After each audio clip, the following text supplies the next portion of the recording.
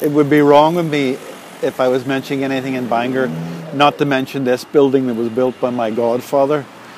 It was the ugliest building in Bangor when he built it. Now it's a little bit better, but it's still not much character to Bangor, but it's better than some of the shops that have been built in Bangor over the years.